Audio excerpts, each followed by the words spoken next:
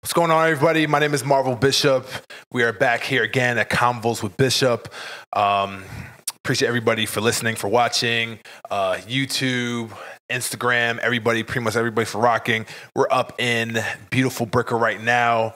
Um, man, it's uh, it's been a minute since we did this, honestly. And um, this particular interview actually is actually a long time coming. So before you even before I even introduce you, like how long has it been since I've been trying to get you to have a conversation? Cause I know you're not really the person to like be in front of the camera. You know what I'm saying? I'm very, you know, to myself, you know what I'm saying? Yeah. I pretty much don't let people get too close to me and stuff, but um, I've been working at it, so it's been getting a little bit better.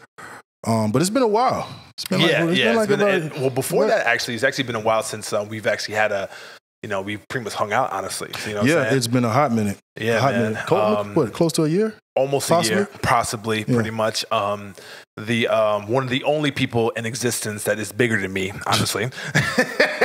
so, so, yeah, yeah. I mean, so, Plead the fifth on that, man.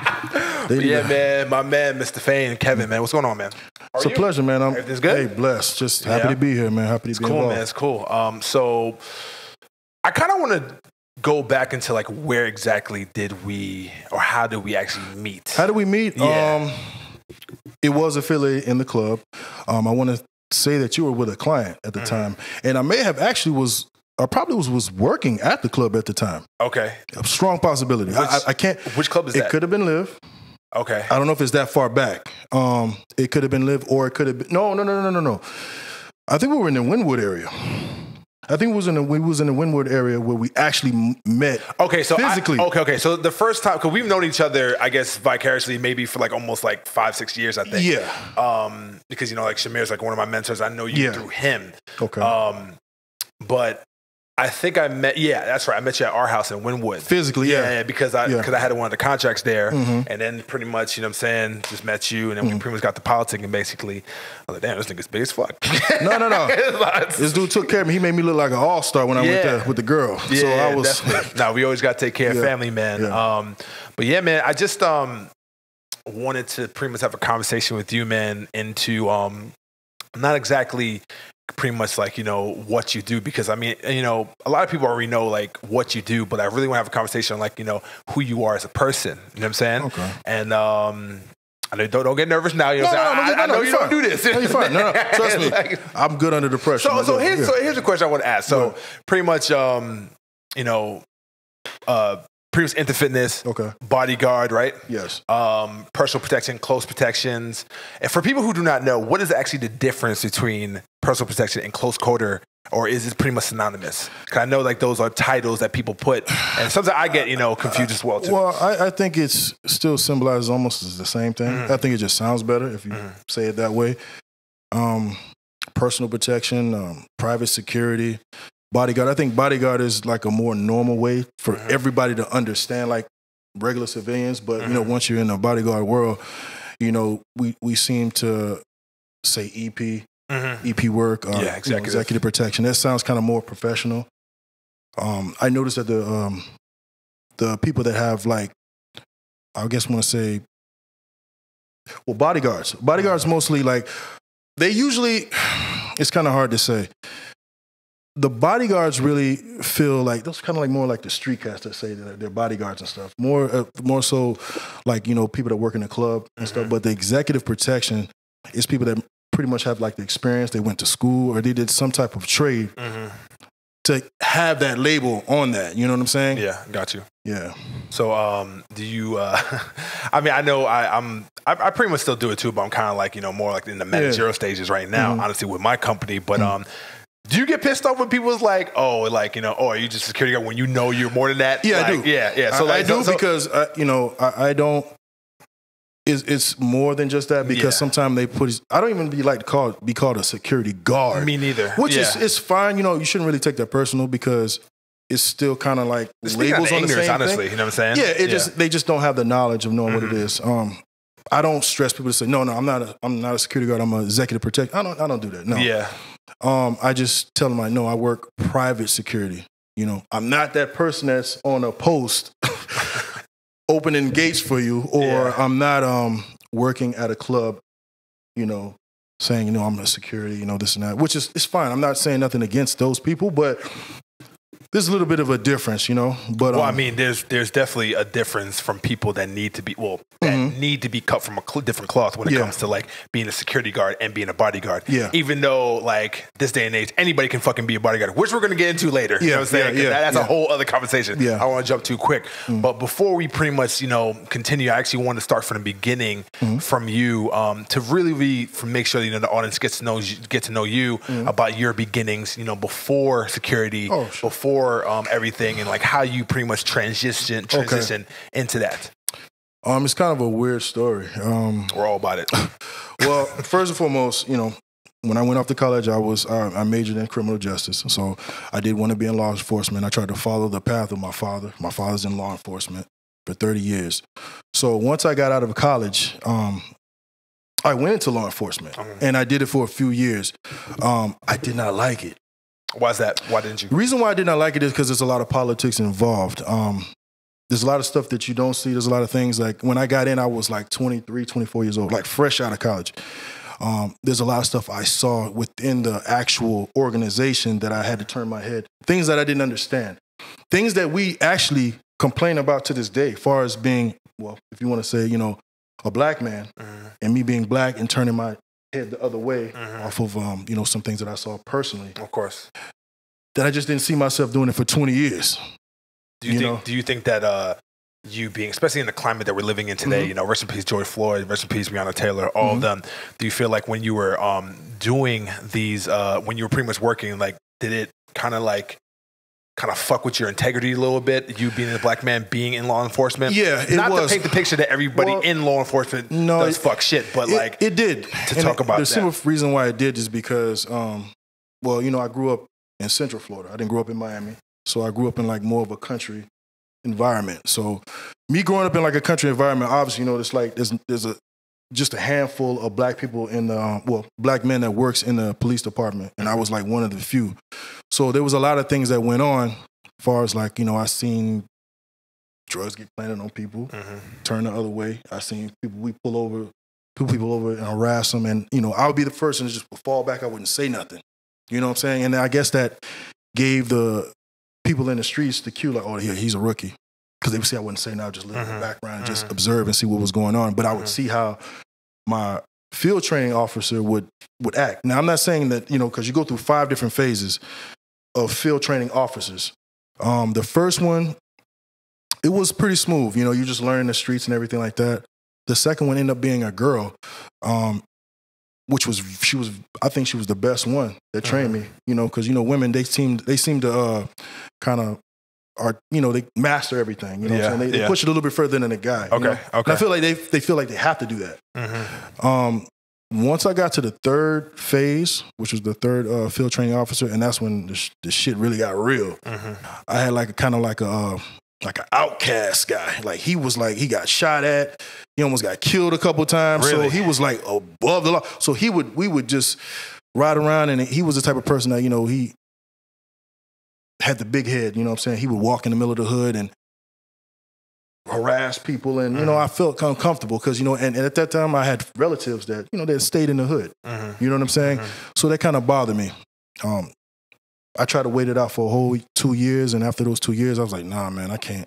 This is just not me. You know what I'm saying? I talked to my father, and actually, my father actually had a conversation to, to me about Mhm. law enforcement before I got into it. Yeah. And, you know, he didn't want to tell me, like, exactly, like, exactly what to say. He was like, yeah, Mhm. look, man, you're going to see a lot of stuff that's going on that you're not going to understand until you get in. Mm. And he's like, I'm just warning you. So once I got in and then I started seeing it and I would confront him about it, he was like, This is what I was trying to tell you about. So now you know, Mhm. you know, and that's when I had the choice of like, you know what, I'm gonna back out. Um, when I got out of that, I did go off and move to um, South Florida. So I went to Miami. And I was still trying to find myself. So I was still kind of like debating, like, okay, let me let me try to find something else I wanted to do. I didn't really know. You know what I'm saying? I was kind of like venturing off. You know, I, I majored in this and now I'm out of it. And like, Yeah. I don't know what to do now. Um, so I actually had Were you as big before when you like as No, now? I always been a pretty not? fit guy. Okay, man, you gotta alright, ask cool. my cousin, man. We, we, man, me and my cousin was actually the same size at one point, which is crazy. Yeah, yeah. Um, what happened, Ronald? always- What happened, Ronald? man, I, I, man, I, I'm I joking. just took off. I'm joking. I took off, man. Um, me, you know, I always train. You know, it's it's a lifestyle of me. I've done that since I was like 14 years old. My father bought me a weight set and everything, and um, you know, my father always worked out. You know, he was in kickboxing and all that stuff and in sports, so I would always be involved in that type of stuff. But anyway, Did you play sports back and back in yeah, the day? I, I Okay, played football. That's how I got a scholarship to go to college. Nice, nice. Um, what college? East Carolina University. Okay. Oh, really? Okay. Yeah, East Cool, Carolina cool. University. So, do you feel um, that you know? Cause I think one of the things that I really, really love about you is Mm. like your work ethic, man, and that, that's something I really, really admire. Yeah. You know what I'm saying? Um, and um, do you think that that work ethic that you've pretty much had definitely played into the profession that you're in right now? Absolutely. helps. Absolutely. I think, it that's going hand in hand with the fitness and the work ethic. and Yes, everything else yes. It, it definitely built a lot of structure, and I think most of it started with um, with sports. It was football. Mhm. Uh, it, it it did taught, teach me a lot of structure, and um, I feel like life. football definitely teaches a lot of things Discipline, that you yeah. cannot learn anywhere else, especially Well- camaraderie, camaraderie. You know what I'm saying? Uh, teamwork. Yeah, How uh, to deal with people. How to deal with different you know scenarios. absolutely. I- Well, well, I wouldn't just put it in football. I think all sports because Okay. it, when- it's when it's a team, you know, you're all going to come together. Even though you know the football probably a little bit more brutal. You mm-hmm. know, Mm-hmm. you, you- know, you go through a little bit more emotions mm-hmm. because of Coordination too, though, if you think about it. well, basketball coordinate. Well, everything. Okay, I so, think- so hear me out. So, Yeah, so, so, yeah. so since we're already here, the reason mm-hmm. why I say that is because, you know, I feel like football is one of the only sports that you need 11 men to be on the same pace at the same time. Because if you're not, it's a false start. You guys get back five yards back, and you have to start start over. I can't think of any other sports that you have to have Mm-hmm. That right. type of. Yeah, the game is based on togetherness, you know inches, and saying? everything has to be to the T. All the plays has to go right. The guard has to go to the right, hit the right tackle to open the right hole, and Yeah. the fullback got to hit the linebacker to Yep. make the running back be able Yep. to cut off that block. And yeah, Yeah. It- you know, it makes sense. Um, So how did you apply that into fitness and getting into that? So w- did you did you own a, a fitness business as well, or did you like talk to me about that? Because that's how we're the Primus, you know, presently going into. Well, I just um, I'm, I'm working on it right now. Um, Okay. I just started working on the logo, um, which you know my cousin had kind of sh- shot me to like someone for Fiverr as far as uh, to design and everything Yeah. like that, which I'll show you guys a little bit later. yeah, this is not a paid sponsor, by the way, Fiverr, so we can't say your name. We're gonna say it though. Oh It's yeah, yeah, my bad, my bad. no, it's okay. Um, yeah, so the fitness part, yeah, the fitness came. It, it comes hand in hand. Mhm. Um, just due to the fact I've been working out at such an early age, it just became a part of the way of my life. You know what I'm saying? Um, there's sometimes, uh, yeah, I might go like two weeks, three weeks off of work that I won't get to work out. Mhm. And I think due to the fact I've been doing it for so long, it kind of messes up my mental. So I feel like that's it has. I have to keep doing. it. I have to keep doing it over It and goes, over it goes, Goes hand in hand. Yeah, it goes hand in with hand everything, as far as with my job and everything. But especially when it comes to EP, because You do have to be in shape. Yeah, because and okay, so so so so talk to me about this. Mhm. Um, do you feel like a lot of maybe not most, but a good part of people who say that in security don't Mhm. really take their their health seriously? Well, they don't take the health or they don't take um, the Not the heavy hitters that we know. I'm talking about like from the grand, the the, the general consensus. Everybody that's that just claiming they that- are a bodyguard. Yeah. Yeah. Um, I don't think they do take it that seriously. I think they just because you're standing next to someone or you're walking someone in a club or whatever, they feel like that's the, you know that they know what they're talking about. Like I always tell people, they have to have some type of trade to learn, whether it's if it's law enforcement, if it's um, EP courses or Mhm. whatever. Mhm. I think that you have to do all that stuff to to, to get uh, ahead of, of everything because I'm not the biggest guy in the game Mhm. but I've learned to find angles to get the clients. You know what I'm saying? Okay. I would always have something that I would take advantage of. Like, okay, Marvel. Okay, Marvel's a big dude. If me and Marvel walk in the club and there's just a whole bunch of clients everywhere, potential clients, they're gonna look at Marvel. They're not gonna pay attention to me, dog. They're gonna be like, yo, who is this dude walking down here? Like he's six eight. Like this is a big dude. I want plus, plus three, but it's fine. Plus three. You know. So I'm like, yo, okay, what can I do to get an angle on Marvel to get these clients to start putting the shine on me. So did you? Okay, so Mhm. it's, I'm I'm really glad we're here. Mhm. So, how tall are you? Like five eleven. So do you feel like? Because I know you. Uh, first of all, your presence, your stature, Mhm. pretty much who you are, your nature. Man, Bar- six foot. bar- bar- scratch that out. There you go. Put there you six go. foot, Do, do what you gotta do, bro. hey, for real, scratch that out. Put six foot. Yeah, but you gonna um, let me? I'm gonna lose females. so do Yeah. you do you think that not because of you, but do you think just because of the general optics, Mhm. kind of like maybe was a deterrent because of your height? Yeah, 'Cause because I think that's a big, big ass misconception right now in the bodyguard world that Mhm. people think because oh because you're six eleven, oh because you're seven foot, that you're a fucking killer, or then you know what to do. Listen, No. I know dudes, not mm-hmm. including me, because you mm-hmm. know I, I can throw real good hands, mm-hmm. but but but I know people that are like six seven, six eight that not- are bodyguards, They don't know and they're fucking ter- terrible. They're, they're just fucking more of a- cowards. They're, they're more of the they look. ain't about, yeah, it's more the look. Pretty They're much. more of the look. So so did you do you still do you did you like when you first started? Like, did you deal with that? Yeah, it was a little So bit of a to complication to get in um, because I was battling with actually a guy that's actually taught me the game, which he's six seven. No, he's six nine. Mm-hmm. Um, by the new name of uh, Badu. And, you know, I don't know if you know that Badu's my guy. Yo, shout out to Badu, Yeah, man. shout out to yeah. Badu, man. He taught he's- me the whole game. So he was like your mentor, pretty He much. was my mentor. Really? Yeah, not a lot of people know that, but Badu was my mentor when I first How, stepped how into the game. Badu? How old is Badu? Probably the same age, like 35, 36. Really? Yeah, Damn, I was Badu's about 30. That's crazy. No, no, he's 35, 36. I give him 36. Okay. Um, so how did you guys meet? Like, how did we that met because we I had got hired with Cash Money, and um, I was working for uh, Birdman's brother at the time, Slim, Mhm. which is more of the um, he's more of the executive guy. Got it. He don't be in the clubs and stuff. So when I came along, Badu wasn't there yet. It was just me. When we started moving around a lot, you know, and due to the fact that I was so new to the game, like honestly, I'm not gonna lie to you, that profile of like that high profile of a client, I shouldn't have had him at I shouldn't have had him at that moment because I wasn't ready for him. You know what I'm saying? I should have started like why do you, Why do you think you weren't ready? Like, why? why I had personally? no experience, but just law enforcement. And I'm telling you, I was the way I was moving. I, I can tell that I he wasn't. I wasn't moving right. Mm-hmm. And the reason why I stayed along the whole time is um, this one guy that put me in the game, which is this Colombian guy. His name is um Carlos, Mhm. which is um Slim's uh, assistant. Um, he saw me one day. I was I don't know. I think I was probably was working in a club at one. And uh, he came in and uh, you know you cater to them, you know you handle whatever they need because he's a customer Of course. and he liked the way I moved. He knows I move a little bit different, and I think it's por- due to the fact that you know law enforcement and football with the discipline, and uh, you know when you're told to do something, I'm I do what I'm told. Like I don't maneuver uh, over that. Um, well, anyways, he asked me. He was like, if I was uh, if I was interested in doing that.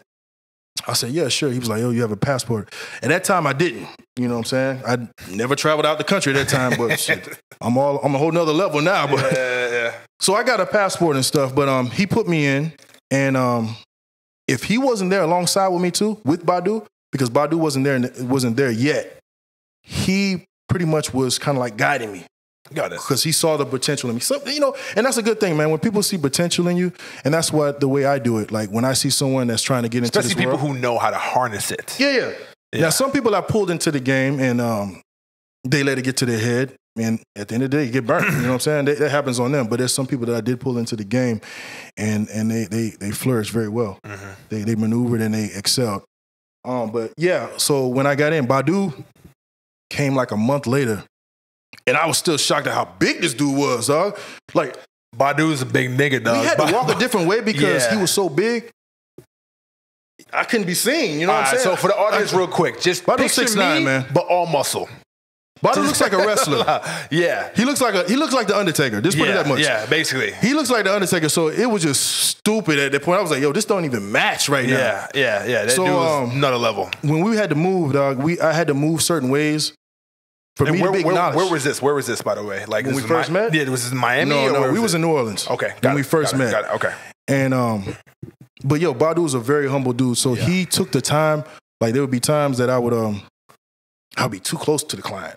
They're talking, he's talking private conversations to whoever he's talking to, and Badu would be like, "Hey man, you got to back up, back up, back up." You know what I'm saying? Because I'm like close, because I see just like Yeah, 30 yeah, people I around you, us, I hear you, and yeah. I, I'm feeling uncomfortable because I don't want nobody to touch him. He's like, "No, no, no, you got to know when to come in and then know when to back up." Yeah. So I started learning, and I was with Badu for like almost what a year and a half mm-hmm, mm-hmm. side by side. And there's different type of clients, man, that like that close protection and like the things that's like, hey, like I want to just, I, I, I want to make sure that you're not even here. You know what I'm saying? I can tell you the example of those clients. make clients. sure to like answer the call when you're ready. Executive clients are the ones that. That's what you just said. They don't want you to be close. They don't even want you to be seen. They don't even Yeah. want to even. They don't want nobody to know they have a bodyguard. Yes. Because I had a client like they was like, "Dog, you. I'm at this bar. I want you way over there at that table." Yeah. Listen, I can't. Yo, how nerve wracking is that, by the way? Let me tell you something that was hard for me. I had one like that, right? We went to New York, right? Okay, so we went to New York. He met up with some lady or whatever. He was like, "Listen, I don't want you no more. I don't like. Listen, now this is when I don't. I don't know New York like that." He said, "I want you to stay a block away." now you know how many people. Now it's a lot of people in New York, right? You know how crowded it is in Yeah, Broadway, right? yeah, yeah. So I'm like, I'm not six nine, so I can't see over everybody. So I'm a block away, dog. Like losing this dude. Like Yeah. I'm to the point where I'm running around the block Yeah, and I'm yeah. running across the street so he don't see me. And I'm like, yo, this is dog. This is crazy right now. I feel like I'm. This is just wild right now. But yeah, um, what I noticed, the ones that like him close are the executives, and I noticed that the the the hip hop artists or artists in general, Yeah. They like them to be close because. Mm-hmm. You know, when you got artists, you know, they're high profile. They know who they are. As soon as they see, them, oh, snap, let me. Yeah, So they the- want you the- close. the- Executive, they don't higher- know. The higher the profile, especially like with athletes Mhm, and like artists, the closer they definitely want you to be. Um, you know, well, not all of them though, because I, Not like all of uh, them. for Kanye. Kanye is a person like trust me. Like I've had like my director of security like take care of him before, Mhm, and mhm. like, bro, like. Kanye was a fucking headache. Like it was like on some like, nah man, back up, back up. You too close, man. You too close. And he is as high as profile you could pretty much get. I have a, the client that I have right now. He's the exact same way. We would be in um and like right now, like I've been with him for what three months now, so I'm still learning him. Mm-hmm. So we were going to the to the mall. Now I know when we're in the mall, everybody's everywhere. Mm-hmm. As soon as you like kind of like let up a little bit, somebody's coming. You know, he don't like that. He was like, Nah, man, back up. You you too close. Man, I'm good. You know what I'm saying? So I'm like, all right, back up. Okay, if somebody grab you, somebody grab you. But yeah, You but just told me to back up. I'm backing up. But another But- thing, another thing too Yeah. is is that a lot of people don't understand that your past does not define like your present and your future. And what I mean by that is Mhm. that like, yeah, like okay, I got you. Like you're from the hood. Mhm. Okay, cool. But like, bro, you're a different beast now, man. You're a different profile. Yeah. So you have to move accordingly. You have to Mhm. move like th- like if you didn't need that, then you wouldn't, we wouldn't have security. You know what I'm saying? Exactly. So there's a reason why we like we need to pretty much be close to you. You know what I'm saying? I feel like I always have to be close because it's only going to take one incident for That's your it. career to be over. Like that's the only thing that this career is hard about. Mhm. You're walking on constant eggshells. So it takes that one Talk to time me to get about how hard this profession is. Since we're over here. It's not- it's not, you know, it's not really how hard. It's just very stressful, Okay, go ahead. and you're constantly stressing um, on fucking up. Yeah. You know what I'm saying? Um, but it does bring out the best in you. Um, when I worked for Lil Wayne, I think that brought the best out of me because the way he had everything set up, where you don't never talk to him. When you first come to, when you first work with him for the day, you have an itinerary. They give you a list of everything. You got everybody's number. You got the pilot's number. You got the, the, the, the manager in New York. If you're flying to New York, you communicating with him in New York. You haven't even left New York. To, you haven't even left Florida yet. You have the driver's number. You have to um, set up the Bluetooth, this, this, and that.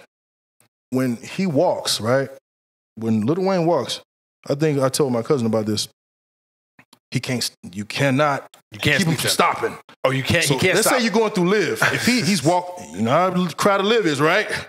You walking through Live. Yeah. You can ask Hugo this because Hugo had the same situation with him. Yeah, yeah. I've I've seen You it. know, you try to be it. professional. You try not to bump people because you know if you're bumping people, somebody's gonna get offended. yeah. With this dude, you don't give a Run, fuck. run him over. Run him over. If Marvel's in my way, look, Run look how, me over. Listen how big Marvel is. If Marvel's in my fucking way and Lil Wayne's behind me, Sorry, bro. I'm finna, bro. I'm finna, I'm finna punch Marvel out the way, dog. And like Marvel, I, I'm gonna apologize to you later, dog. I'll explain it later, dog. I'm telling you, dog. That's how. That's how the stress level is. When you go to the hotel, right? When you go to the hotel with Lil Wayne, we pull up. yeah. The door has to automatically be open. Yeah. There has to already be a person that has the door open at the uh, at the hotel. Uh, You need to have a key to the elevator because and it has to be open already by the Uh-huh. time he walks. When he gets into the elevator, no one has to be in there, but you and him. it can't stop on no floors. No, y'all better but that me, one dog. floor. Y'all better than me. Y'all better So than look, me. my stress level is like, Yeah. yo, you, I'm so afraid to make an error. And you know, we're all human. We all make mistakes. of course. Bro. So is it like a one and done thing type of thing? Like where like if you make one mistake, like you're fired? Yeah. Really? So when I work with him, I, I kind of like stay kind of like incognito. I try to like work with him and then just get out. You know, work with him a little bit, and I feel like that pressure. Oh, Yeah, get out. yeah, yeah. You know what I'm saying? I give props to um, uh, who who was working for him. He worked for him like two years Bro, straight. there's, there's this big, big dude, man, that White guy? still work. Huh? Yes. Tim. So yeah, dog. Tim, no, no, Sca- Jim. Scary looking dude. Like, Jim, yeah. like, Jim. like he like walks like Jim this. Jim worked with him for two years, and he, I think he was like one of the best, man. Dog, he gave me the hardest He was one of I've the best. had in my life. He worked with him the longest. I think he was there for two, excuse me, two years with him. And um, like these are other guys that I learned off of. You know what I'm saying? Like these guys were were in the game way before me, and I think that's why when I got into the game, I still have that old school mentality of Mhm. those guys Mhm. Because there's a lot of new guys that you know there was no social media so everything that i was doing far as like doing bodyguard work or slash executive protection it was like a cult dog. it was like you didn't know how to get in you didn't know who was in Uh huh. you didn't know what was going on um now that the social media is which i think is good and bad social media kind of like you can sell yourself people Yeah. can people be looking at your page that you never think you're looking that's looking at your page i was talking to ron about that Uh huh. There's people that you know it could be like like I remember one time I was on looking at my stories and every once in a while you look at who's watching and stuff you know you're trying to catch Yeah. a female like, Yeah, that you yeah, might want to yeah, holler yeah, of course. and the next thing you know damn P Diddy's looking at my stories like damn what the hell is he looking at my yeah, stories yeah, dog I got you. you know what I'm saying Because of who you're protecting. exactly Yeah. so it comes hand in hand So now yeah So let's let okay. I have I have a big, big love and hate, love and hate relationship when it comes to bodyguarding with Mhm. social media. Here's the love part. Mhm. The love part is is that you're able to market yourself. You're able to pretty much put yourself in position Mhm. into, um, you know, maybe get some other clientele that you probably Mhm. can never have. Other people can definitely see who you're pretty much bodyguarding, and Mhm. it's like it's a cool factor. Mhm. But at the same time, isn't that a liability factor? it can become a liability. So talk to me about that. it can become a liability now the way I have it set up is I go through the photographers of the actual client so when he's take I don't take pictures I don't Okay, take personal okay. pictures I got you. That's why when you see my pictures different from most of them, I'm not gonna say everybody, but for Mhm. most guys, when you see me with the client on my page, it shows me I'm on the move working. hmm So they're catching me in the move going through the crowd, or they're Got catching you. me open the door. You're not catching me side by side. Trying to do a fucking Catching a Kodak moment. Yeah. No, no, you're not gonna catch them. Those are the ones that kind of messes everything up. And that's when everything gets kind of like meshed and confused. Mhm. But there's you have to learn ways to promote yourself because everybody's on social media, man. So you got to adapt to it. At first, I wasn't against. I was against it. I'm like, "Nah, I'm not gonna post that stuff. That's not right. So You my never, whole you never see me when I used to like whole really be. I never used to do it. Yeah, my whole career through Cash Money, I have nothing to show. yeah. No, I got nothing you. to show. Though. All I can do is just tell you. Now that it's kind of hard now because now social media, like when I got this other client Uh-huh. that I just got, I want to say the manager asked about me and then looked on my social media and was Mhm. scrolling to see who I was. Even another person that had a contract of another client that wanted me to work with him, Mhm. he went to my page to see what I was doing and see how I move. Yeah. You know what I'm saying? Got so you. that everything comes I think, hand in hand. I think it's a difference between having a person to capture the moment than you trying to capture the moment while you're working. well, there's people out there that's, that's, that has There's it, uh, people that do the latter that be real nasty with it. They, they, and they're really good too. Yeah. and they're making it work. But I'm Yeah. not going to say anything. but yeah, man, you get it how you live, man. If you Yeah. can make it work and you still getting clients, you still making money, you do it that way. If even if everybody's against you, that's why you know I'm. I try not to be biased about that stuff. Yeah, I just I do my you. own thing. Make make it work the way I want to make it work because people could be against me on how I do it. Yeah. But like, damn, he's posting like his clients and stuff. I'm like, yeah, I'm posting my clients, but you know what? That shit was on TMZ. I took that picture off of TMZ. Yeah, Oh yeah. yeah, I just looked up Google. I just Yeah. Googled my client, and then my picture, my face popped up. And- okay, I'm gonna take that picture. And and and quite as kept, yeah, that is a, maybe a kind of liability issue, but Mm-hmm. motherfucker, run up if you want to. oh yeah, yeah, yeah, like, like, Yeah. like you I feel mean, me? Like, like, yeah. like, like, try if you really want to do some, I try mean- some bullshit. Then, like, you know, you pretty much writing your own fucking death certificate. If you, if I'm talking about some, some Everybody's, real you know, shit, you, you're always going to get tried, Don't matter how big you are or yeah, how much experience in Mhm. boxing or MMA that you have. Somebody's going to try you. Doesn't matter. yeah, I've learned that, you know, and, and, and it happens in the when you least suspect it. yeah. Talk to Um, me about mhm. the battle when it comes to knowing how to fight the battle within basically protecting your clients from an intellectual standpoint and a physical standpoint. When Um, do you know when to get physical? Well, when you know it's going to get physical, Mhm. you need to take your client away from the environment. Um, that's when you have to keep your composure. I used to have, uh, I used to have a temper, and I used to feel like um, when I have a client and I can see somebody's barking, and I'm trying to calm the situation down, but I see that they're barking because they know the client that I have, so they're trying to test me. Mm-hmm. And I'm like, okay, I'm gonna have to knock this nigga out just to prove a point. just to prove a point to my client that I'm knocking niggas out and prove a point to this dude, like, yo, bro, I'm about to give you the business so you you gonna know what time it is. Yeah. And I hope they record it. Um, but I learned that it can escalate to something way worse because I've passed that. well, I'm gonna tell you this. I've had experience on both ends, and that's why I say you got to learn, take everything as a learning experience. I've had that situation where I could have just got my client and walked away, but I was so irritated by this guy Mm-hmm. that I went out of my way Yeah. to get this guy. And when I went out of my way to get this guy, it ended up going really bad. You know what I'm saying? It yeah. wasn't happening. It ended up not just being that guy. So Yeah. me fighting this one guy ended up being six guys. Yeah. And then when it was six guys, that mean my entourage that I was with, my client, they jumped in because they saw me fighting six guys. Mm-hmm. Yeah. Um, yeah, that incident happened. I think that was in Montreal, Really. Canada. Oh, yeah, it was in a weird spot. I didn't think that was gonna happen over there. I think Yeah. I'd be in New York doing some stuff like No, that. Honestly, kind of like um, maybe I shouldn't say this, whatever. Mhm. But you know, like one of the best feelings, dog, is like when you get into an altercation Mhm. and then like your client jumps in because he fucks you so heavy. Let me tell you, Like- I had that happen. I had that happen. like. It, you know what? And I'm gonna It's not a good. It's not, like, okay. Professionally, it's not a good thing. It's not a good thing. But like, just like from like a man to man to like, Yeah, yeah. because you, dog, like with this client, man, you spend like basically like your whole livelihood with this person. So Yeah, like when they like really fuck with you on that level, that like you're just not just a piece of meat, Yeah. but like you're actually like a brother to him. So like you know, in certain situations, I'm gonna tell you a story with that. please one. do, dog. Now we're going back to Montreal because everything seemed to happen in Montreal, right? So we're in Montreal, and you know, I have this client. I'm not gonna say the name, but I'm pretty sure you're gonna get who it is Mm-hmm. once I explain this this situation. So we're on stage, and you know, my client, you know, during his show, he likes to jump into the into the crowd and surf and do all this, go all the way to the end and come back, right? I'm used to it because we do it at every show, so I always prepare myself, you know. Um, once he starts taking the jewelry off, okay, he's about to jump. I let all the security staff know at the bottom of the gate of the stage, like, hey, you don't have to go in. I'm gonna go in. Just be there when he comes out to put him back on the stage. So I jump in the crowd.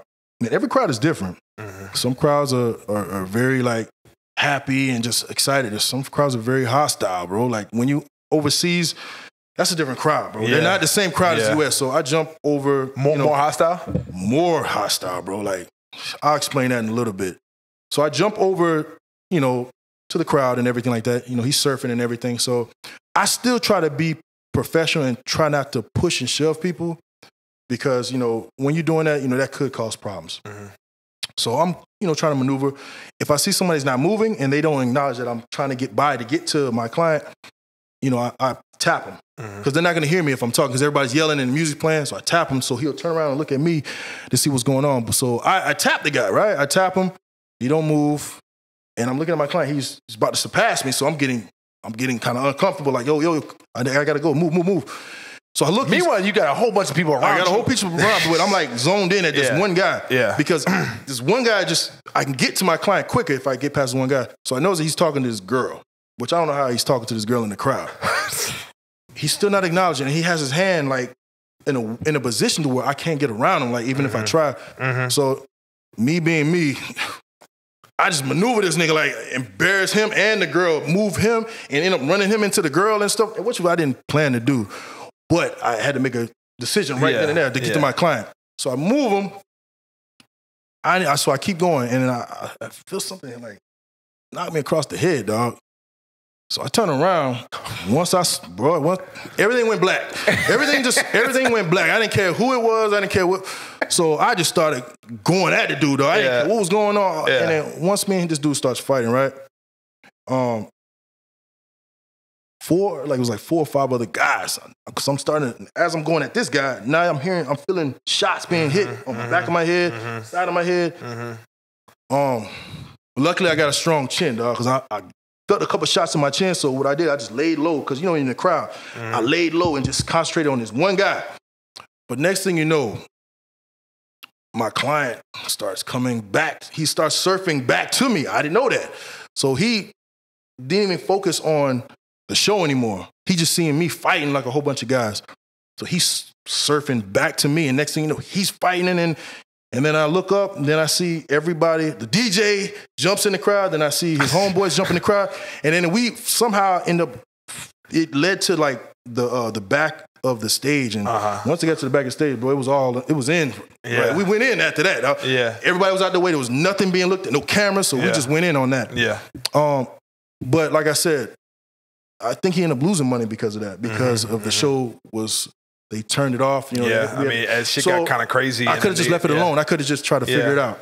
So that was like a lesson learned for me that like, yo, once stuff like that happens, just focus on what you got to do, or your client's in the situation, just get him out of the situation. Yeah, I think um, one of the biggest lessons I've learned while doing security or executive protection is just like, like, bro, you have to be able to like compartmentalize, man. Like, you have to be able to like really just like let shit go. Yes. like, cause that could have been a situation for you where like, yeah, he hits you, whatever this and that. Okay, I understand. Yeah. You gotta defend your honor. Yeah. But like, you could have just probably just let it go, and then I like, could have let it go. You could have. You could have. and it could have got worse. But here's here's another thing too, though, it, bro. Like, see, protection is so crazy because like it's such a it's it's a it's a it's a, it's a seesaw battle. It's like Mm-hmm. a give or take because it's like if you would have let that go, then the people around you, the crowd around you. Would think that it's okay to try you like that. Exactly. It's So, like cause so when, effect. when yeah exactly. So it's like when do you know when to go? you don't. you don't. You just have It's to a, make. it's, a, it's, a it's a situational Same- thing. and, and I think it's the same way far as like in law enforcement. Even Okay. though you know we get these situations because, like I told you, I've been already been on that other side, so I know how they feel in some sense Mm-hmm. when things happen. They get that split the second uh, split uh, decision to make a choice whether okay, am I gonna pull the gun out, Mhm. hit this dude because I don't know really really what he has, Yeah. or I'm just gonna wait because when I was in academy, they showed two scenarios of that happening. Like one guy didn't pull out because he was hesitating because he was trying to think and do what he was trained to Yeah, do, yeah. and he ended up getting killed. And then you got the other scenario where the guy pulled out, shot him, you know what I'm saying, but end up being he didn't have nothing on him, but just the whole movement of He killed it's him? a split He decision. Sec- yeah. Mm. So it's a split decision that you have to make. So some of these, you know, I'm not trying to veer off to that subject and stuff like that, but what I'm saying as far as being split decisions where you there's really you don't know what to do. Like you just have to make that choice and whether you go right or you're gonna go left. Yeah. Figure it out. Yeah. You Seems got like that split decision. seems uh, like yeah. experience is pretty much the only teacher for That's that, the right? only thing. Yeah. So if you end up making that one decision at one time, so now Uh-huh. you know. uh, Just like the story I just told you. Like Yeah. I would never put myself in that position again because, you know, my client could have by him fighting, even though he held his own and he was giving everybody else the business, but it could have went bad. He could have Yeah. got hurt. He could have got stabbed. He could have Yeah. got shot. He could have died. because of my because of my anger. shit, both and- of y'all could have died. Exactly. Honestly, you know. Exactly. So everything is based off of experience, and you do have that split decision to uh, second to do Mm-hmm. the right thing. So since we're already here right now, Mm-hmm. um, I've always wanted to like really understand and get like educated Mm-hmm. on the um the art of like concert security and concert like Oh. Because that's a different breed, bro. Like you got to Yes. be made of a different type of fucking cloth. Yeah, are you talking about far as being a bodyguard going through the concerts? Yes. Okay. Um. That's what I'm talking about. Yeah, everything has to be and very organized. dealing with the type of artist that Yeah. does those type of theatrics versus you know So we, we, let's just put it. Obviously, if it's going to be concert, it's going to be a high profile client. Um, you're going to have to do an advance before you go there because you need to know all your routes just in case an emergency happens. Um, I try to find two exit routes that I can get my client out of if anything happens. You know what I'm saying? Um, you you need to always when I go there, I always have a group meeting with the security staff that's there at the event because at the end of the day, it doesn't matter how beneath you think they are or whatever, how much you know they're low budget or what. Don't matter. At the end of the day, man, they help you. I, I, I always get a good rapport with them. Make them feel like they're on the same level as me. That I'm, I'm here with you. We're all a team. No, I'm not just a bodyguard because you get bodyguards Can out there that that does again? that. Can you say that again real quick? That like you have to pretty much make them feel that th- we are at the same fucking level. are on the same there's a lot level. of fucking bodyguards out there that think they fucking Push and shove to make them feel they they beneath fucking them. King Tut and shit like that. and they make it harder for themselves because I'm telling you, I've been in situations that like they're not liable to jump in the crowds. Mm-hmm. I've had it to where I've made these guys feel so confident and feel comfortable where I would jump in the crowd and next thing you know, I turn around, three of them are with me. They don't have to do that because that shit just gets stupid in there. I'm like, Yeah. oh, yeah. I said, you don't have to come, man. Next thing I feel something on, like right behind me, tugging me, like, oh, damn, these dudes, these niggas is with me. Made everything so much better. yeah, You know what I'm yeah, saying? yeah. Um, but yeah, that's the key thing that you have to do. You you just have to have everything very organized. Every question that your client has for, about the venue, you have to have the answer, man. So you have to, whoever's running the venue, you need to stay intact with him. You know what I'm saying? You need to know all the security gates. Um, have conversations where when your client comes, they don't have to sit there and wait. You notify them. That's the only thing. Once your client is there, everything pretty much goes smooth. You kind of like start clicking. If you did the advance correctly Then you're before before they got there, everything just goes smooth. Everything goes smooth. I got you. Uh, what is your? Hmm? I mean, this is definitely gonna give it away, but like, what is your initial reaction with a certain client when they go from the third floor and then jumps into the crowd? Like, like I haven't had that do you- experience, man. I um, how do you feel? You've man, never had experience? I never had experience, man. Oh, really? I thought with that certain artist, like he's done that before. I never seen the. Oh shit! Yeah, you're right. Damn. Fuck. Shit happened. Yeah, that's you know it became so common. Like Yeah, I got- it doesn't register no more. It's just like I didn't even think of the floors no more. Yeah, Um, yeah. Because I, I, I'm shit I, is I, crazy, I've, dog. I've seen Like, it, dog. I've this, seen like this what made it more crazy. I'm gonna tell you this. This is what made it crazy. If this person walked up the stairs, like came out of the second, the first floor, right, Uh-huh. going through the crowd, and you know you got a stairway to go to the second floor. If he went up the stairs, it'll be okay. But for some reason, he finds a way to climb. climb. Like I can't climb because they're not going to hold me. They're looking at him, so they're helping him go up there. So once I see that, I have to readjust, go through the crowd to go upstairs, up the stairway, then get back to him before he gets over the ledge, before they surround him. Yeah. You, get, you definitely got to have your cardio up. I'm telling you, when I first started doing that crowd stuff, I was Which applies winded. to what we were talking about before, like the whole fitness you thing. You about have to work on your breath Yeah. control because I've had people that jumped in the crowd with me that didn't know any better, and they kind of like panicked. Mhm. They panicked. They couldn't breathe because when you when we were overseas, right? It was like 10,000, 10,000, 15,000 people in the crowd. I remember we had one. I think it was like 30. You couldn't even. When you go into that crowd, and you got to you got to think they're barricaded in. Yeah, So it's you. like compact Got you. Got you. once I seen people passing out, like over and every 10 seconds there was a person being pulled out of the crowd. This is when we were in, uh, I think we were in London. Okay. I'm like, God, so I'm getting, I'm sweating like, Mhm. oh, this shit's gonna be bad. Um, it was so packed. I swear, when I jumped in, first of all, when I jumped, I couldn't even go in there all the way. It was like I was, I slowly was sliding in the in the in the crowd because it was yeah. so packed. Yeah. I got you. The heat, dog, the oxygen just stopped. Yeah. I felt no oxygen.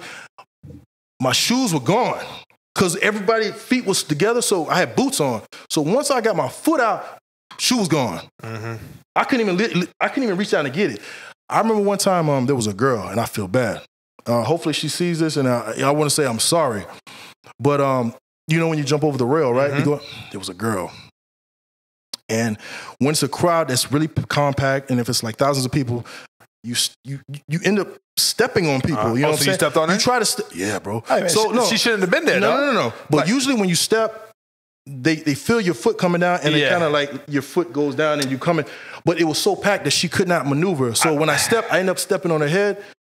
And as I stepped on her head, her body went all the way down. I didn't even see her get back up, dog. Like it's like she disappeared. Like Yo, I I hope look. they took her out of the damn. Listen, like listen, listen, listen.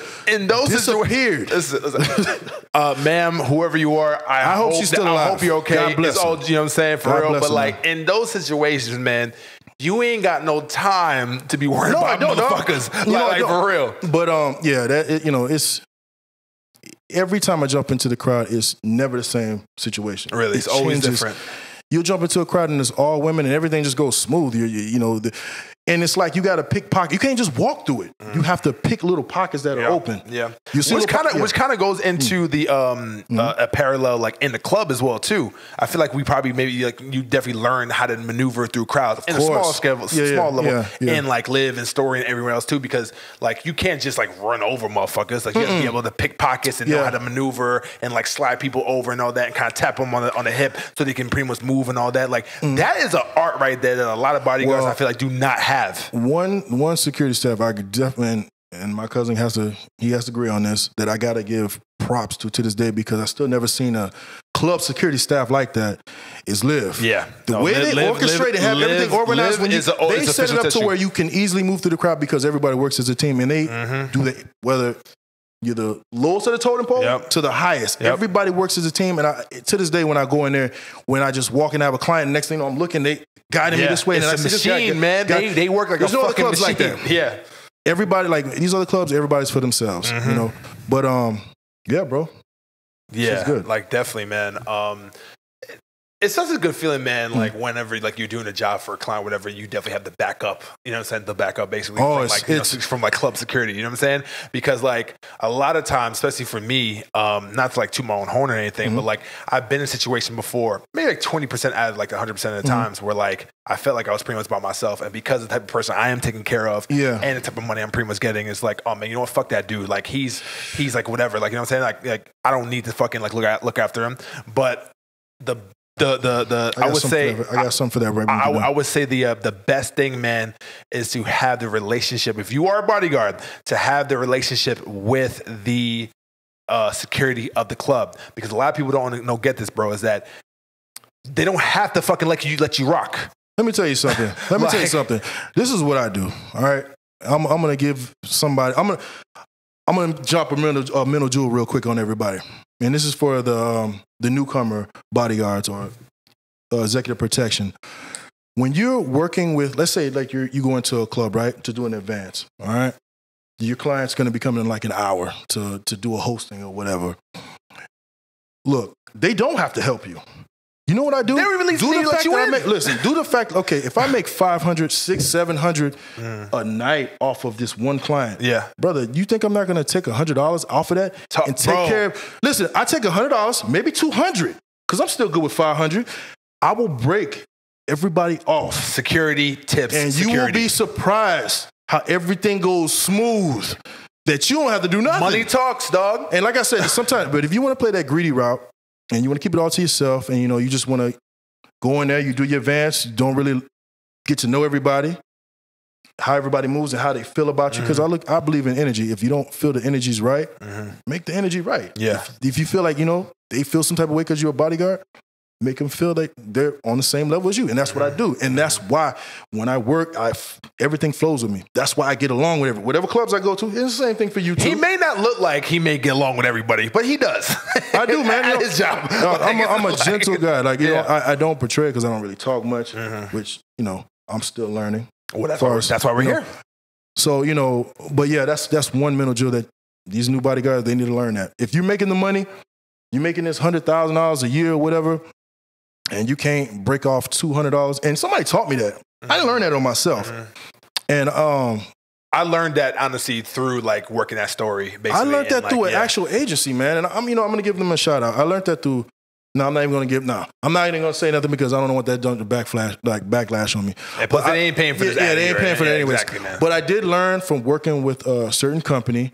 Um, he, you know, I would sit there and I would talk to the owner, and he would talk to me and like, you know, he kept saying like, you know, I take care of everybody. You know, at the end of the night, I'm like, what do you mean? He was like, no, you know, you know, these guys work with us hand in hand, and he, that's what he told me. He's like, yo, things will work a lot smoother mm-hmm, if you just give a little. mm-hmm. It's not gonna hurt you. You know what I'm saying? It's not. It's It's not, not gonna hurt you, bro. 50, whatever, whatever it is, it's not gonna. Whether it's the and- bro, waitress, and, and then the, Keep the- her on point.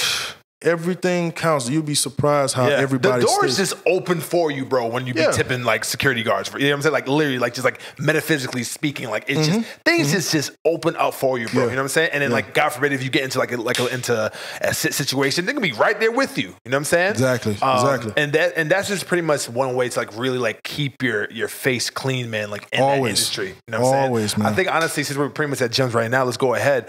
I think one of the biggest things that we need to talk about right now, honestly, we kind of like alluded to in the beginning, Mm-hmm. is um to fucking stand your ground when it comes to like charging, bro. Like I think like right now we live in this day and age where like just Okay. every single buddy, every single fucking bodyguard Yeah. just try to get like any type of job for two two hundred dollars, three hundred dollars, four hundred dollars, where like they try to like you know undercut like other Yeah, bodyguards, we and they definitely- don't yeah. get that they're fucking up the whole entire industry. and the thing about that is, I, we definitely need to form a union or something. But I, I, I, think um, I'm down for it. I, I think the social media plays a big part on that too as well Okay. because when the so before the social media came, nobody really knew the money that was being made. Mm. Due to the fact that the social media has exploited it, and you know, it, even me as well, as far as the things I post, they're seeing where I'm at. They're like, damn, this dude is driving a Bentley. His client's Bentley. Okay, damn, he's driving his uh, McLaren. You know what I'm saying? Oh, he's in a jet. He's okay. So they're automatically looking of, of, of your status. So even people that are not Mhm. qualified to be bodyguards, they're doing anything to become one. Yeah. Whether they do a two hundred dollar a day job where they can just find a regular job and make that shit, work a one job and make hundred dollars, and then find Yeah. another hustle to make the other hundred. yeah, yeah. You know what I'm saying? If you do the math and you're making 200, 250, 300, maybe even 400, dog, if you do the math Mm-hmm. of working for a client for a whole day, it's still not enough. Yeah, got you. You know what I'm saying? It's still not enough. But um, that's what's messing everything up. All these new guys, they're coming and they're trying anything to get into the game because it's not easy to get in. It's it's no application that you can fill out. It's no that even if you're big or not, it's it's it's certain barriers that you have to pass. You have to know somebody. I could not get in. You know who I tried to get in through at- when I first came in? Who's that? My boy Hugo. Okay. My boy Shout Hugo out to was Hugo. Yeah, Yeah. shout out to Hugo. But Hugo, Hugo, he let me know what time it is. He's like, bro, you can't just get in just like that. Yeah, true. He, he let me know. He's like, no, it's hard. Because Hugo was in before I was. He was like, no, bro, it's, it's really hard. Like, you, you, you have to, you got to make some moves. You got to learn some things, like network a little bit. Mhm. You know what I'm saying? And everybody doesn't want to throw their face out on beginners. You know what Yeah, I'm saying? And that's what people, I get that all the time on social media. Random people trying to get in. I'm like, bro, I don't, I don't really know you. I'm going to put somebody I know personally, yeah, you know, course. on that I can trust and I know his Yeah, personality bodyguard, before I just. body, bodyguarding is such an interpersonal yeah, so industry, bro. This is a shout out for social media. And the guys that are not in the game yet, do not text experienced bodyguards that's already in the game Mhm. on trying to get in. Now, if you're going to question how to work on getting in, that's different. Okay. But do not ask for somebody to put you on and stuff like that. That's a that's definitely a no no. That's a Yeah. bad look yeah. on your So part. you, you think if people do that, then like people like you'll get blackballed? You won't get blackballed, but you will. It's a stain. It's a stain.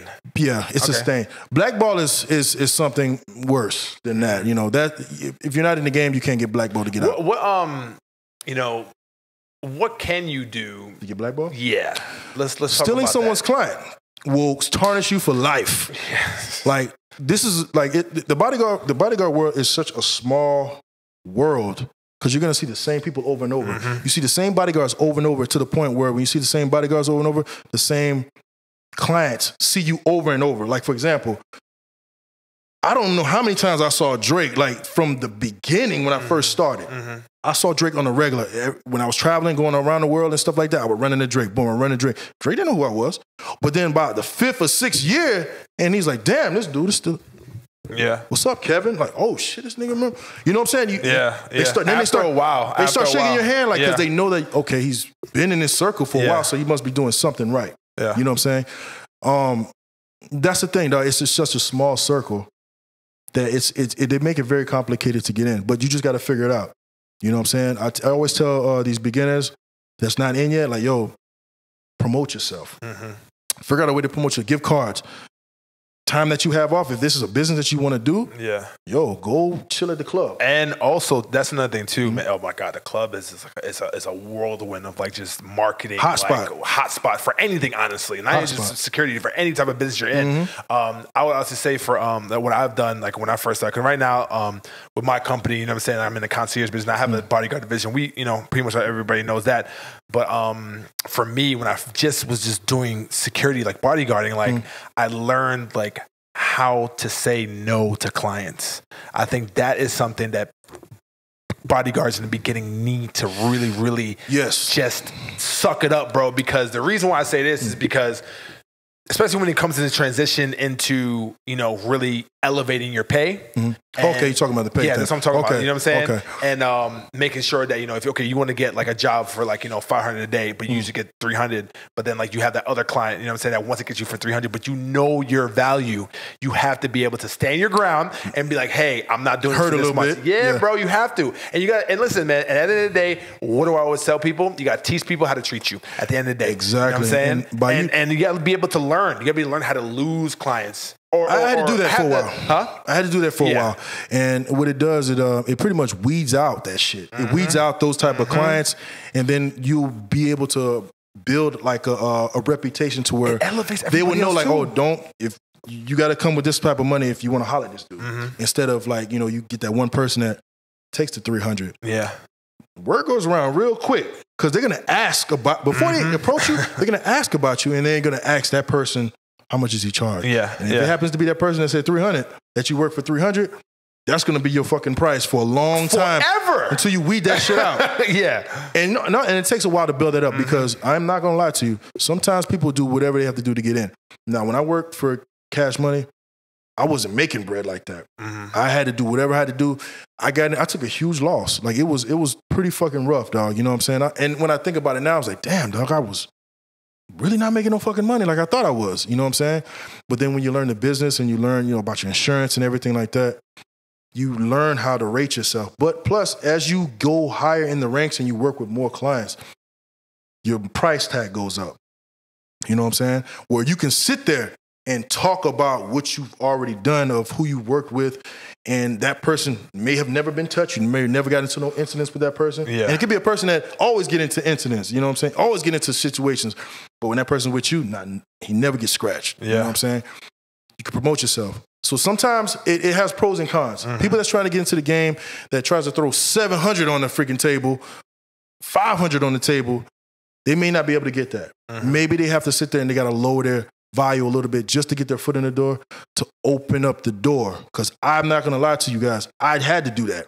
That was my only way. Got I came and I made I came in a low because I didn't know the rates at that moment at Uh-huh. first too. Got you. Got you. But when you learn, that's when you start doing it. Mm-hmm. Got you. Got you. So how do you? uh So how do you give some? What advice would you give somebody that's starting off, like you know, pretty much like how to price yourself? You know, Uh, like, like, because I think well- well, well, there's different tiers, honestly, when it comes to like you know Yeah. day race, when it comes to night race, when it comes to security uh, in a concert, when it comes to high profile, low profile. So if you just kind of like just give like a gist from your personal experience. Um, well, that's when I say you got to have some trades. You have to uh, take some courses and stuff. You know, when you have either law enforcement, um, you have uh, any type of pro. You have to be pro, but like amateur or even pro fighting background. Um, that plays a big part. Uh, you gotta be able to like I say one thing. you have to learn to sell yourself. That too, but I will also say that you know you have to be able to like really um, be able to like always be a teacher in the craft. You know what I'm saying? Like you're not gonna just know everything and just stop at just. You know what I'm saying? I've Because been in this done for eight years. I still learn. I'm still learning. Talk So, about it. Um, who's the guy that um that does the classes all over the U.S. Um, his name is Oh, um, oh Jesus, Icon. yeah. Okay, now he's been in the game for a long time. hmm Um, we pretty much be getting the same caliber of clients, but I'm still willing to learn more because I see that with his with his courses, there's still stuff I don't know. You know, I, I looked at a little bit of things that he was doing. like, damn, I didn't know that. You know what I'm saying? And that caught my eye. I'm always uh, have room for higher learning. hmm You know what I'm saying? It it just levels it just over levels your game on everybody. You know what I'm saying? So that's what I tell people just to keep learning, keep learning, keep learning because this game is evolving. Yeah. And like I said, all these old dinosaur guys, because when I came in, it felt like the way it is now, it, I feel like I'm like an old dinosaur guy. But listen, if it wasn't for if it wasn't for my cousin dog to keep me updated on social media and learning everything, I probably would have died out. Yeah. Because I, got have you. guys that I've came into the game with that before the social media and everything like that, that died out because they couldn't evolve. Yeah. And that's what I tell you. Like, you can't use social media as a bad thing because it's just evolving. That's just the way everything is. It's very subjective at the same time too. Like for people who think that you know, like for a bodyguard to use Mm-hmm. Yeah. social media, that's just a person that's just maybe that's just jealous as hell. I want to say another thing. I want to give a shout out. You mind Go ahead. Go ahead. Go ahead. Yeah. You know this guy too because you told me he was your mentor. I want to give a shout out to Shamir Oh, absolutely. Boulevard because Group, he was actually another mentor for me. As far as I met him when he was beginning in uh, his business, which he's very successful in right now. Um, one thing he taught me was how to promote yourself, how to advertise yourself, because Dog, he is a fucking wizard. He's a monster with that.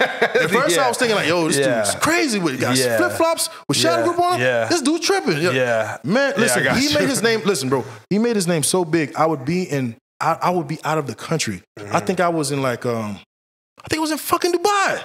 I'm walking in the, in the. I don't have nothing that says shadow group on me, dog. I'm walking through the airport. Somebody stops me. Hey, do you work for Shadow Group? What the fuck? Yeah, bro. In Dubai?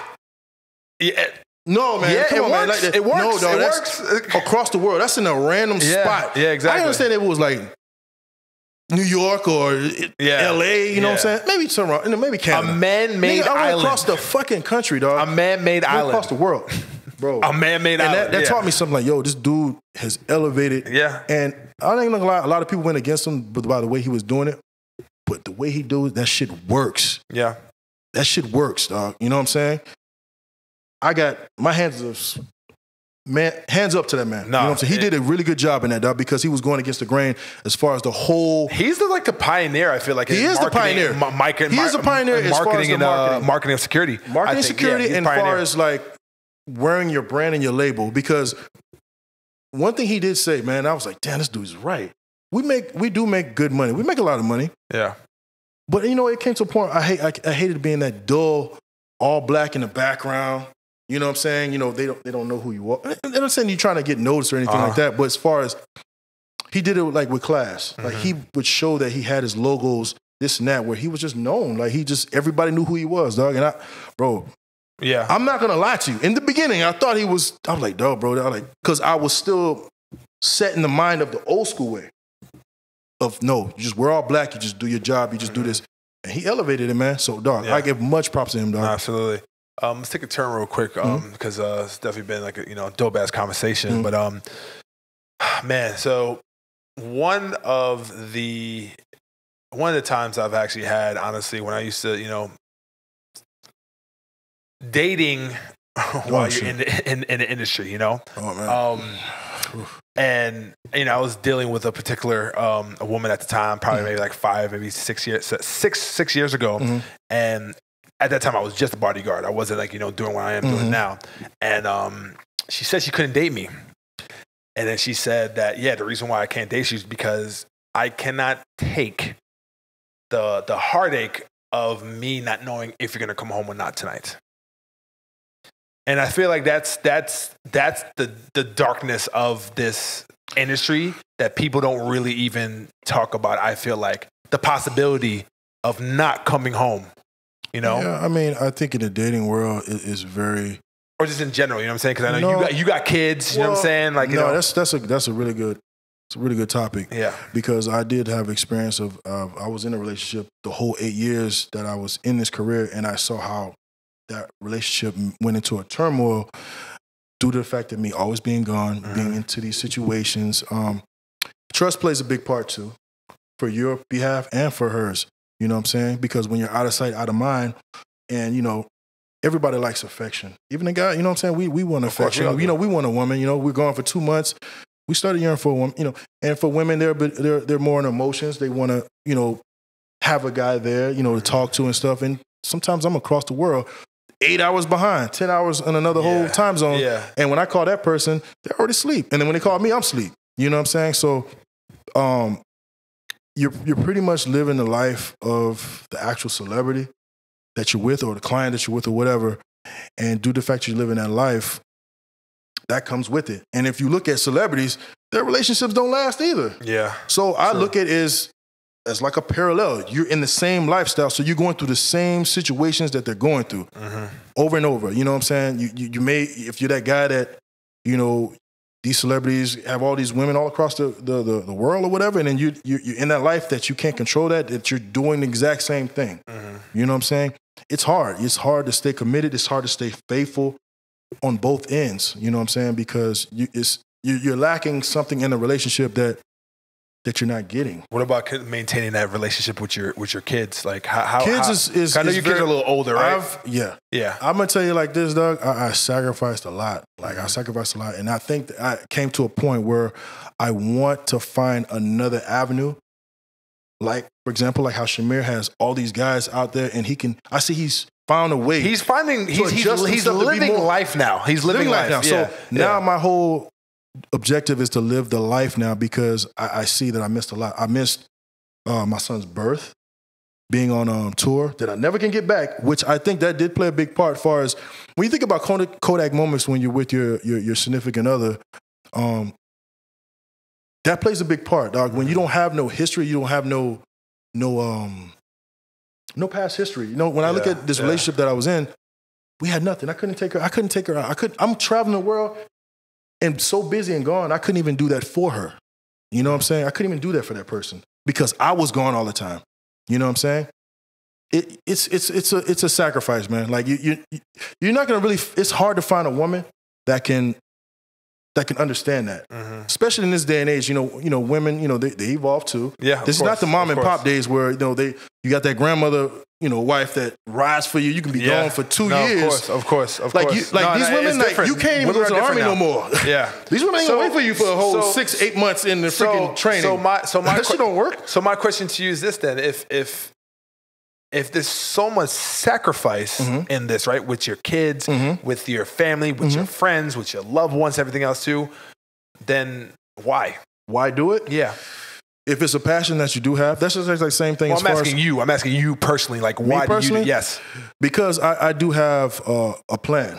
Like I said, no, I'm trying to set up. I've been in this game so far. Now, when I first got into the game, I didn't know Mm-hmm. the sacrifice. Nobody told me the sacrifice of how this was going to be, of of things that you're going to lose. You're going to think you're going to lose your.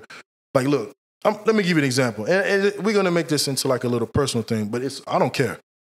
Now, look, the relationship, I'm not in that no more. Mhm. That it's it, we she grew apart. You know what I'm saying? Because I wasn't there enough. I do have a kid from that person. You know what I'm saying? The thing that hurt, it hurts the most is the fact that you got to sit there now. All the stuff that you wanted to do, that you should have done, take that person out. Take that person out to dinner. Take that person on vacation. I'm, now I'm watching this other person do it. That I what I should have done. Yeah. Now, okay, that's a lesson learned. You learn from the next relationship. Mm-hmm. all right. Mm-hmm. So now I've I've learned that. Now we're talking about the kids. Your kids, your kids are young. They're like sponges. Everything that you do every day, you're molding them. So my by me not being there, I'm not molding him correctly like as a father should be there. Okay. So it's hard. So when I come home, I'm 100% on my kids. Like I've, I've I'm off today for the next two weeks. I'm picking them up right after this. You know what I'm saying? Picking both my kids up right after this. I've learned that you you have to you have to just figure it out, man. It, it's it's very hard. It's very hard. I, I see every every bodyguard that has kids or that's married, they're in the same situation. It doesn't last, or I haven't seen any. I haven't seen any of them last yet. You know what I'm saying? I haven't seen not not one, not one last. You know what I'm saying? And it's just a huge sacrifice. The money is good. You know, you you can you can live the high life. You know what I'm saying? Because I'm not gonna lie now. Like now, I'm starting to live. Like now, I done my price done went up. You know, I'm mm-hmm. starting. I'm, now I'm starting to live a, a, life that I wanted to live. Of course. But I sacrificed everything. The I'm life not in a relationship. Okay, I got the condo now. I'm, I'm enjoying life. I'm going out and do Yeah. this.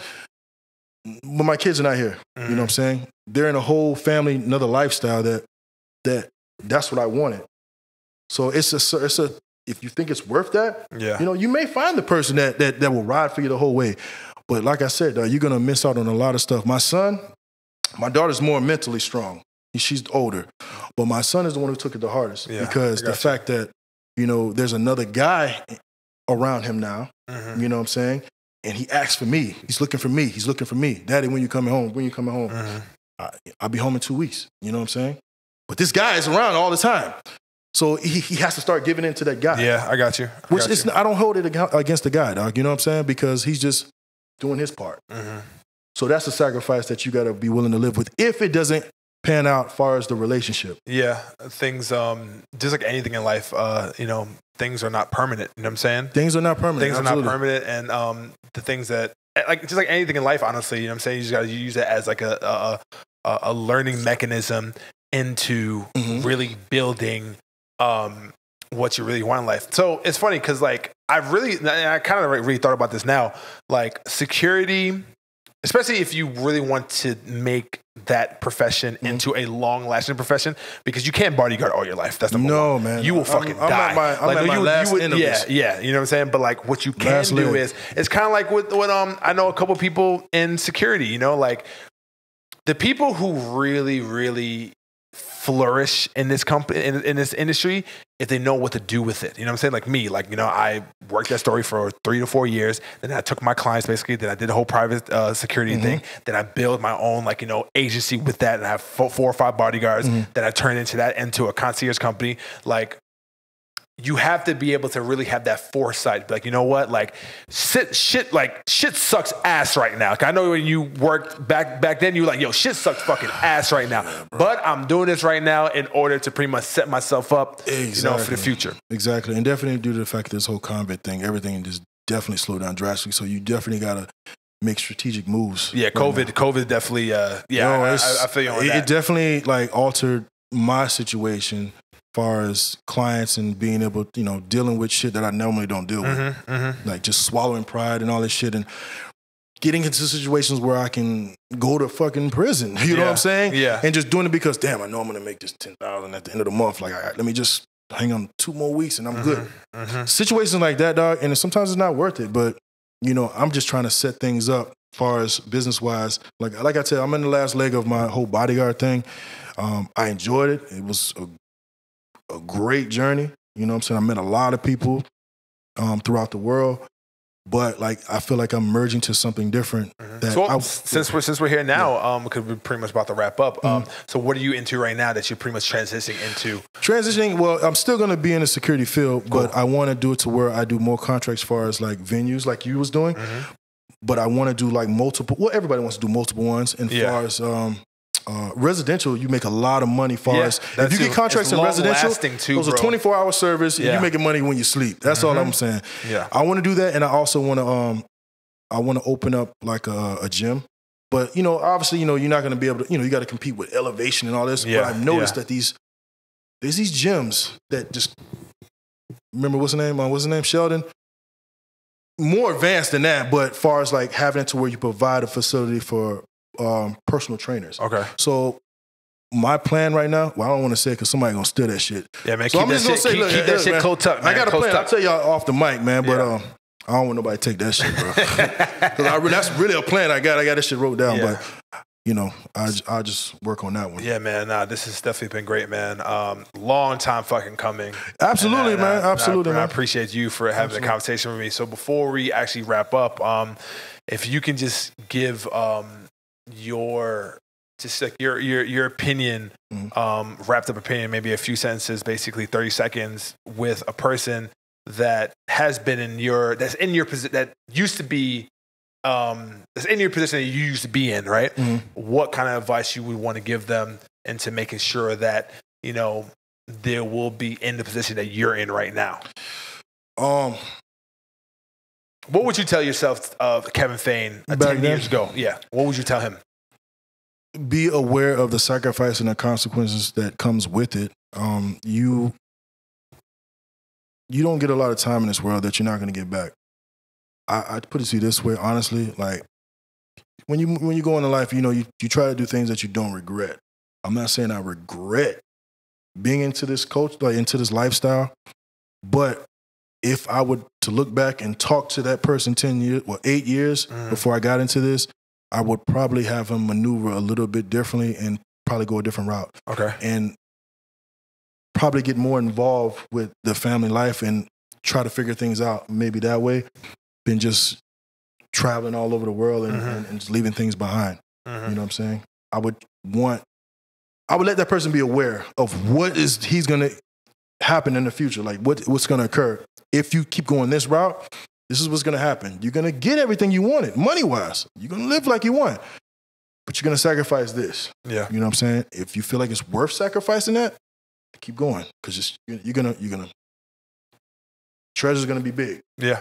No, definitely, man. So before we wrap up, man, um, social media, shameless plugs, all that good stuff. Oh, so we uh, can find you. You just hit yeah. 10K, by the way. I, uh, man, I'm proud stuck of you on that, man. I can't figure it out, man. I don't we'll figure it like out. a We- we got you. I, I got you. I'll make you for it. But where, Um, where can we find you? Um, yeah, it's it's Mr. Fain three. Um, I, that's really okay. And if you want to do the social, uh, the YouTube, it's uh, it's it's the Kevin Fain channel. Okay. Um, Kevin Fain also, if you go on the Facebook. I'm working on the website. It, It'll Nice. be done in 20 days, so they're working on it right now. So it, Good, that would good. be Fain Personal Protection Group. If you want to get any type of um, security work Of or course. any type of, of course, executive definitely, protec- protection, Cool. uh, We'll definitely our plug way. that in in, Mhm. in the bio and all that. Absolutely. My man. Appreciate you, man. It's been good, man. Thank It's always you been a much, bless, man. All right, Been a guys. bless. Until next time. Thank you.